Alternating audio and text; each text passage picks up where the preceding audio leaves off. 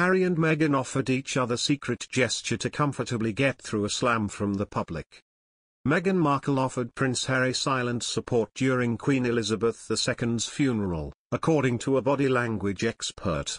On the 19th of September, thousands of mourners and members of the royal family attended the state's funeral at Westminster Abbey.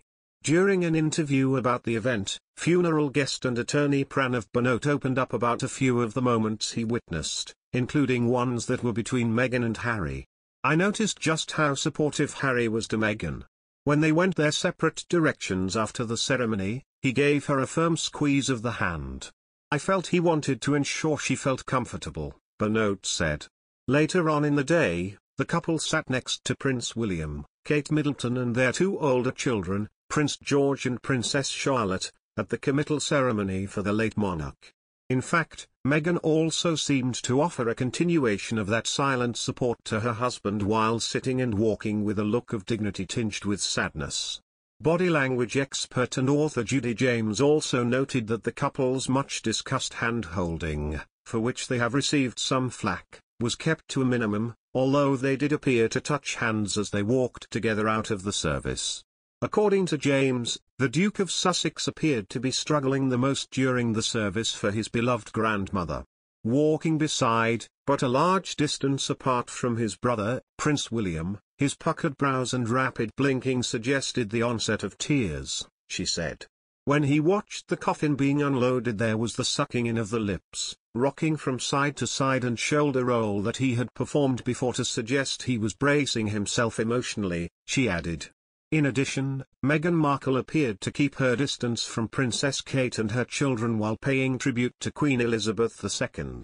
The Duchess of Sussex opted to stand slightly away from the Princess of Wales and Prince George and Princess Charlotte, as well as Queen Consort Camilla during the Westminster Abbey service. Meghan's physical distance could have been for a variety of reasons, according to body language expert Blanca Cobb, one of which is her continued tension with the royal family. While Meghan appeared somewhat detached from her sister-in-law and stepmother-in-law, 75, during Monday's events, her body language was respectful toward the late royal.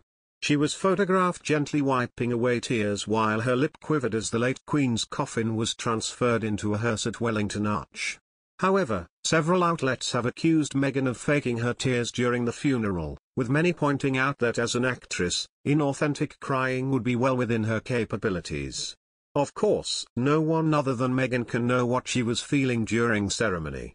Public's contempt for Meghan has frequently been on display throughout the official period of mourning.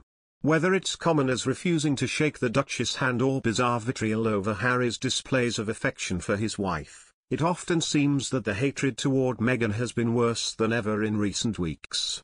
And now, Harry and Meghan's harshest critics are reveling in two gestures that could be interpreted as signs of disrespect toward the California couple. Many social media users also expressed how the criticism about their hand-holding was a double standard, since the Queen's granddaughter Zara Tindall and her husband, Mike Tindall, also walked hand-in-hand when exiting the service at Westminster. A lot of people think that it's beautiful and warm, and they're holding hands. They're not just holding hands with love, Harry has gone into bodyguard mode, Dr. Marla explained. Dr. Marla added, it doesn't feel loving, necessarily, to me, it feels like a couple at war who are trying to get through a bombing.